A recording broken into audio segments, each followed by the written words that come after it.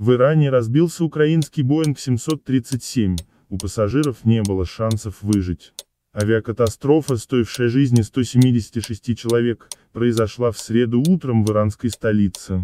Самолет международных авиалиний Украины выполнял рейс Тегеран-Киев. Он вылетел из Тегеранского международного аэропорта в 6 часов 10 минут утра по местному времени и через несколько минут исчез с радаров. В Иране, через несколько минут после взлета, упал украинский пассажирский самолет Boeing 737, на борту которого находились порядка 167 человек. Еще 9 человек, члены экипажа. Сообщается, что ЧП произошло у международного аэропорта имени имама Хамини. Информацию о падении самолета иранские службы подтвердили посольству России в Тегеране. Ведомство выяснило, что в списках пассажиров на борту разбившегося лайнера граждане России не значились. Мы объявляем глубочайшее соболезнование родным и близким всех жертв этой ужасной трагедии.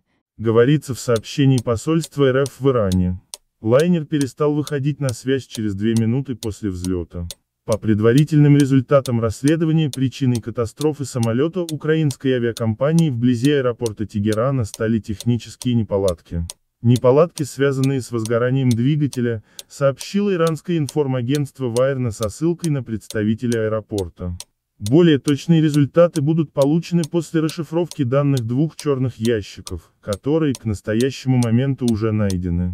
Министр иностранных дел Украины Вадим Пристайко опубликовал в своем твиттере информацию о гражданстве погибших в результате крушения украинского самолета в Тегеране.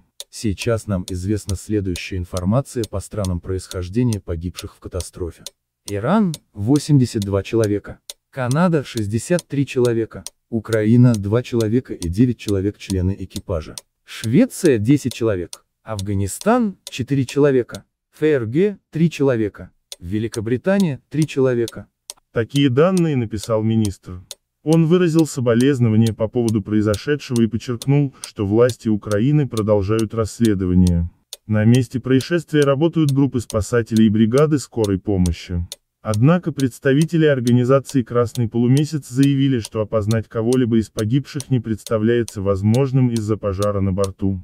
Идентификация жертв катастрофы будет проводиться позже, по результатам исследования и сравнения данных ДНК-тестов. В настоящий момент, из-за нападением Ирана на базы воскресения США в Ираке, и вероятностью ответных действий со стороны Америки, Росавиация рекомендовала авиакомпаниям Российской Федерации не использовать воздушное пространство Ирана, Ирака, Персидского и Оманского заливов из-за рисков для безопасности. Федеральное управление гражданской авиации США вслед за Россией выпустило постановление о запрете полетов над территорией Ирана, Ирака, Персидского и Оманского заливов.